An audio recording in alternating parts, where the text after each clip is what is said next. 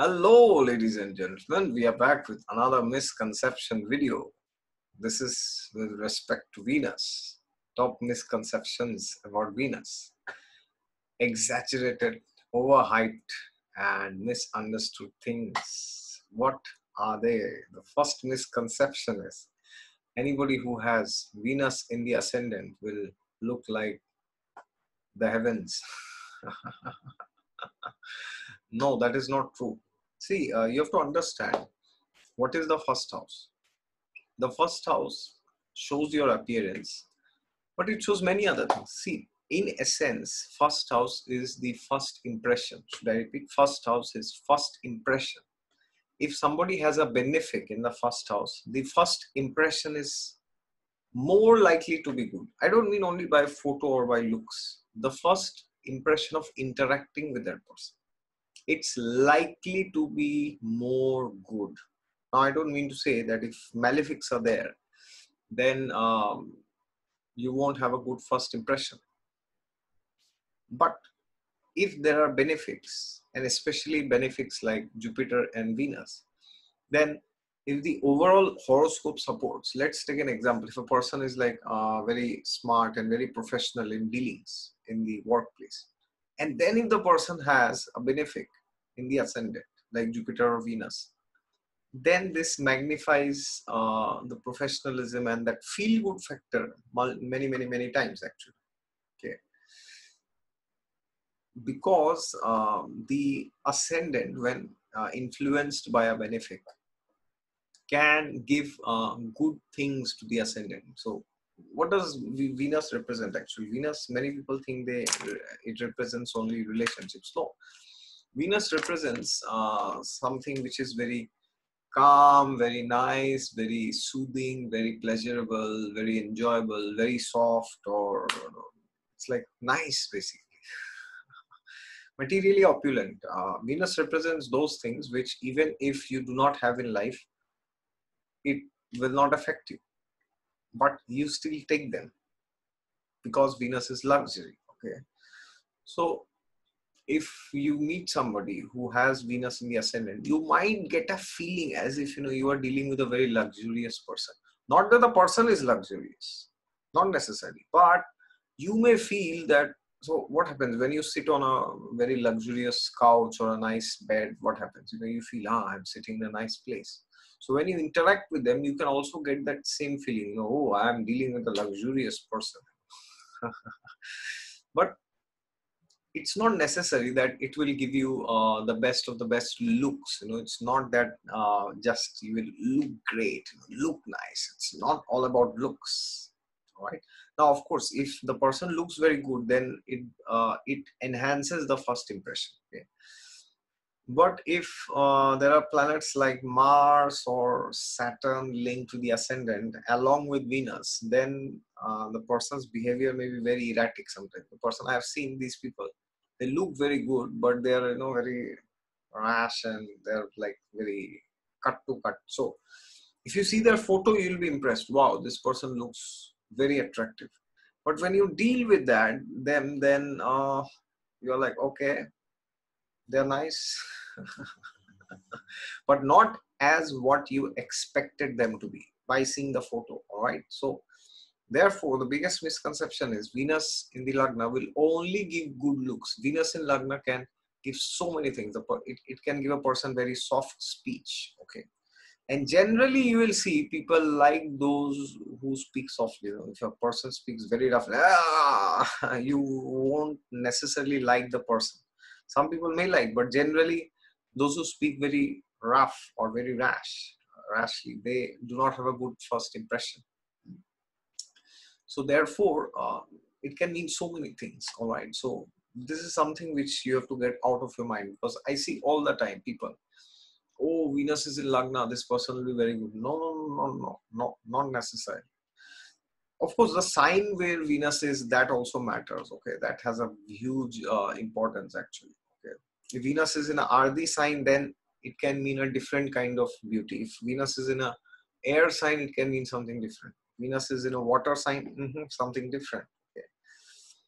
All right, so this is the first misconception. Number two is um, this is huge actually venus in fifth seventh or eighth will make you a cheater or if venus is in seventh uh, your spouse will cheat on you no no no no no this doesn't happen or this is also another thing you know if venus is in seven my spouse will be very attractive. This also doesn't work. So see the fifth house uh, fifth house if link another thing is venus in 12th also the person uh, can uh, be very much you know uh, what they say? The person can always uh, the person always runs behind the opposite sex. That is another misconception okay so what is the fifth house? The fifth house is the house of love and creativity also. Do not forget that. It's the house of intelligence, sharpness, understanding anything very quickly. So Venus in the fifth house can also give you things like uh, you can understand very fast.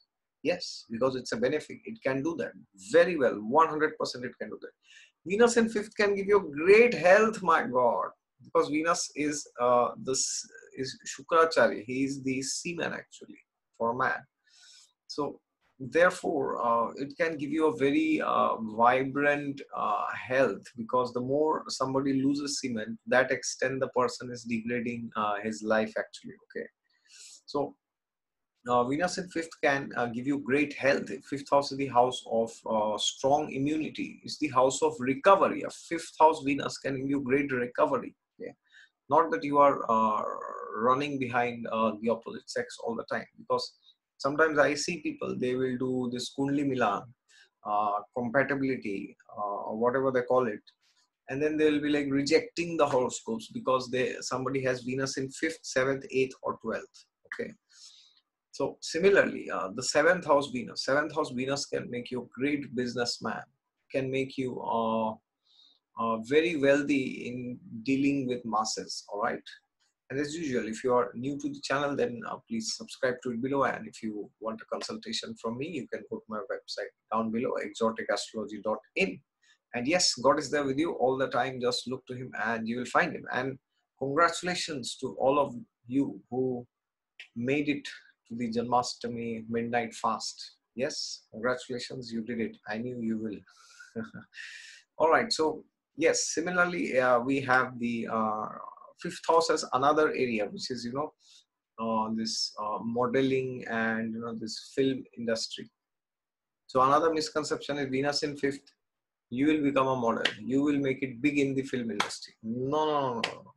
See, whichever area it is, either it's politics, YouTube or you know, writing or government or IT or real estate or you know, economics, bank, whichever area. Success, uh, when you say the person is very famous, the name and fame comes from only two houses, the 10th and the 11th, all right? Now, yes, if the lords of these 10th, 11th, and 5th are linked and Venus associates, then the person might get name and fame through you know, modeling and all these things. But for that, you need the, uh, a very strong 8th house and a strong 12th house also. Without that, it doesn't happen, I've seen. Then the person can go towards, you know, embroidery, painting, and all these things, all right? Now, for that, the third house has to be associated somehow. So this is another misconception. Fifth house Venus is uh, a person is very creative.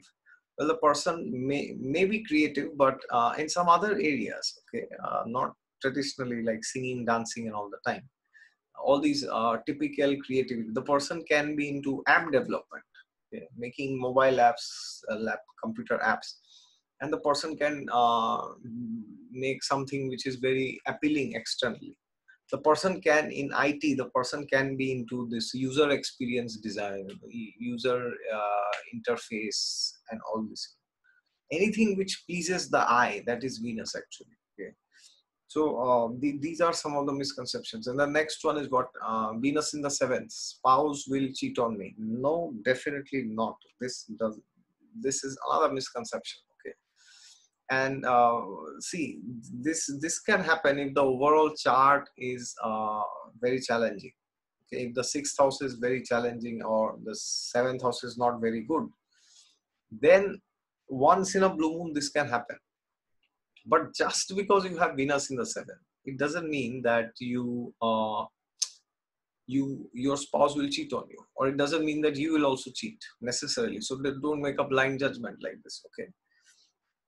Yeah now if you have venus in seven then uh, what does this mean? This means that uh, the first impression about your marriage which people have that can be relatively better so you might uh, when when you and your spouse are standing uh, next to next uh, each other then the people may say that oh both are looking really nice. Both are equal in terms of intelligence uh, physical appearance and you know family status and all this or character or whatever intelligence or smartness or whatever it is or maybe even career also these days.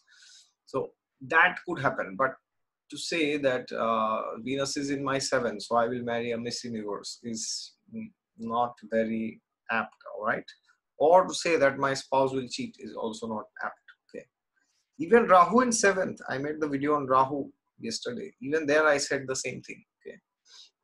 Now another misconception is uh, you know, venus in eighth the person is you know uh, overly sexual this this could be at times if the fifth house is linked and somehow the moon and uh, rahu and the ascendant lord they are very badly placed okay?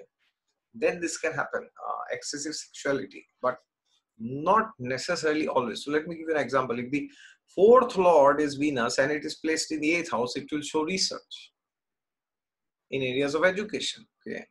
So then you should not say that uh, this this person is like uh, and then you make a snapshot prediction like this oh venus is in the eighth you must have had troubles with sexuality and then the person is like, no, what is he talking? You know, I'm in the office 24 hours. I'm just stuck up in my lab. And this person is telling, you know, I'm running behind uh, opposite sex. Know, this person is not a very good astrologer, it seems. His or her predictions are not correct. You see, so astrology gets a bad name.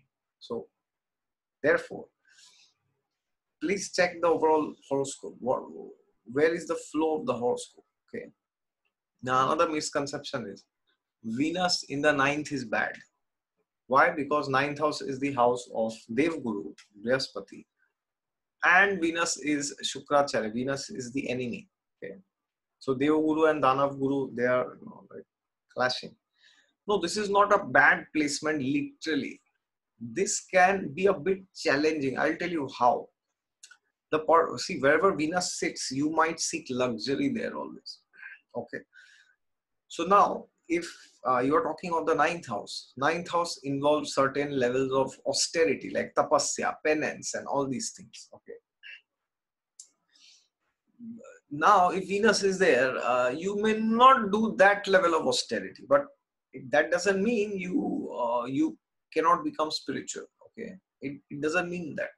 It simply means that uh, like Venus is also food. Okay, so like for example uh, yes uh, today when i'm recording this video today is janmashtami and tomorrow when you see this uh, it's not it's nandotsav okay so generally in janmashtami they fast without food or water till 12 in the uh, night okay but if somebody has uh, venus in the night that person may feel that uh, the person may not be able to fast that much okay now that can be uh, a, a, bit of a challenge uh, to do certain severe austerities. The austerity part of spirituality can be difficult. I agree to that.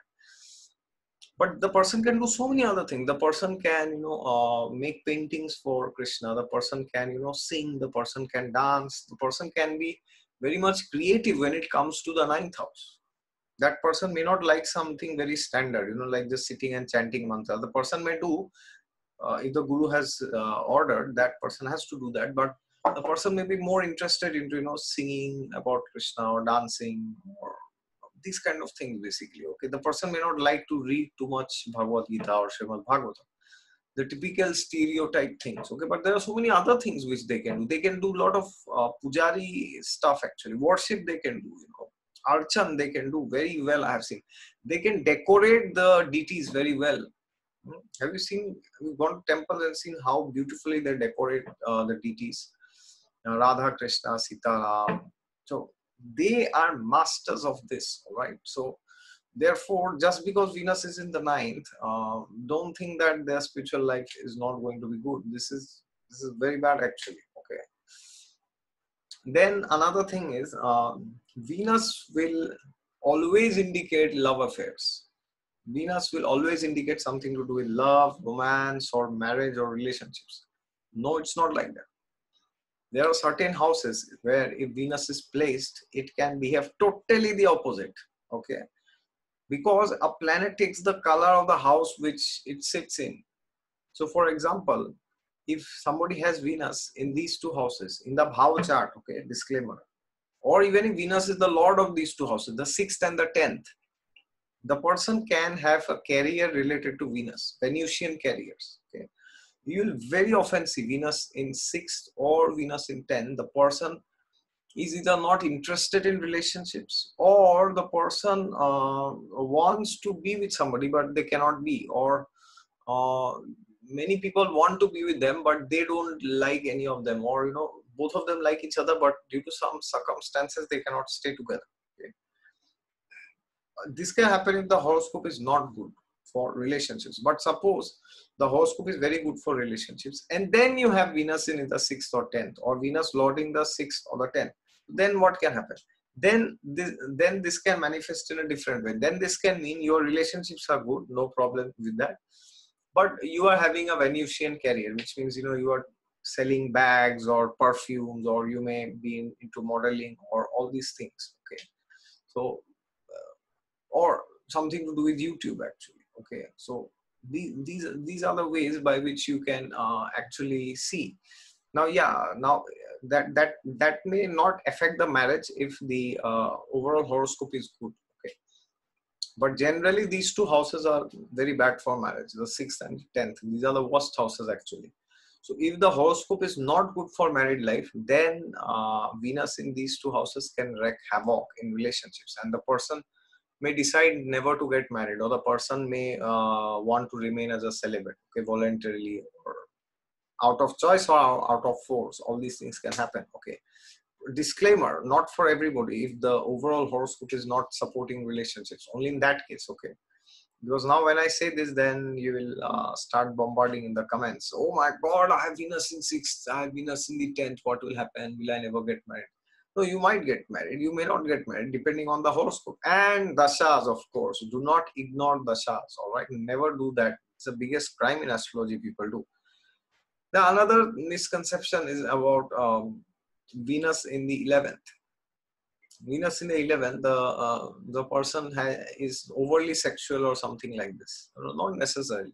See, 11th house does not give uh, derogatory sexuality. It doesn't give that. 11th house gives uh, long-term committed relationships. Never forget that. 11th house is the fifth from the seventh. It is the happiness of marriage. Okay, it is the house of friends. So, how in the universe can the fifth house from the seventh house, for God's sake, how in the universe can that give you, you know, uh, extramarital affairs? No, never. Extramarital affairs are coming either from the 8th or the 12th, especially the 12th house. Why? Because it is the 6th from the 7th. Extramarital affair means there is a um, there's a dissatisfaction in the marriage, okay, or there's a lack of commitment or difficulty, uh, not commitment exactly. It's like uh, the propensity to cheat, as you say. So that is not only the 12th house from the ascendant, it is also a Dusthana, 6th house from the 7th house. Okay. So 11th house never, never, never can give you uh, extramarital affairs or uh, unwarranted sexuality, as they say. Okay. In fact, the 11th house can be very good if the overall horoscope is good. Now, if the horoscope is going towards money, if the, if the horoscope is a very money oriented chart, then this can mean uh, money. Huge money coming in. Okay. It may not necessarily mean that uh, you are you are married or you, you you have a great marriage. It may not mean that. But in general i am saying about the 11th house. Okay. So do not uh, just say this. And then about conjunctions also they say moon venus is a very deadly conjunction. Okay. Because they are enemies well no not necessarily. It depends on so many factors um, primarily if moon venus they are aspecting each other or they are together somewhere then you have to see in which house is it. Okay then you have to see what are the things that this house represents. Okay so for example if moon and venus are in the seventh house this can be the best thing to have for marriage provided the horoscope is good for marriage. Now if uh, the horoscope is bad for marriage then this can really be a very difficult placement or there's another misconception. They say uh, moon and venus they will make the person very much you know overly romantic or something like this. Because of which you know they the their spouse may feel insecure that many other members of the opposite sex are uh, wanting to interact with this person. So that will all that might also happen but then uh, that will happen if you know somehow rahu is linked or the eighth house is linked or the sixth house is also linked because then sixth house gives you insecurity because it's the denial of seventh house right? So only then this happens but blindly you should not say okay and if this is in the ninth house this can be very good. If this is in the lagna this can also be very good okay? And there's another misconception that um, venus and saturn my god it's the most dreaded uh, conjunction in astrology i guess. Nothing is feared more than this conjunction. Saturn and venus um, they say that the person uh, will have a lot of suffering in marriage. No not necessarily. See suffering will be there but not the way you think okay? But uh, so saturn venus together they think that oh you know whole life i'll be crying my spouse will leave me thus my spouse will ditch me or something like no it's not like this. It can manifest in different ways. Now if the sixth house is involved then this can mean denial of marriage or divorce or breakup or you know long separation because of work or you know something very much unpleasant. Then this can mean but but there are other meanings to this. It can mean that your uh, spouse is much much elder like uh, even more than a decade sometimes okay? So this can mean that. Or it can mean the the spouse looks much uh, elder than his or her age. So if the spouse is around 25 people will say oh he or she looks as if they are you know 29 or 30 32 something like this. Or it can mean that your marriage is delayed. Everything is fine in your life and your partner is also same of your age or something like this but your marriage is delayed. And when when does that happen? When they are linked to the seventh house okay? So anything can happen if saturn venus are linked. But what will happen? That that will depend on the houses where they are linked with what okay?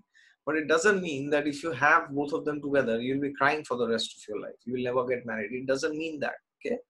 So therefore uh, these are very big misconceptions about venus all right so stay away from all this and be very precise when you give a judgment okay? Otherwise if you say these will happen and the person is like okay mm-hmm, what will happen all right so if you cannot help somebody at least don't confuse them all right and we'll be back with another misconception video later hopefully okay?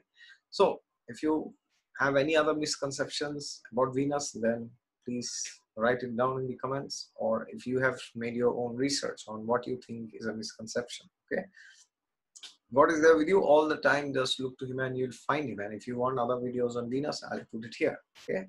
And if you're new to the channel, then please subscribe to it. Thank you very much.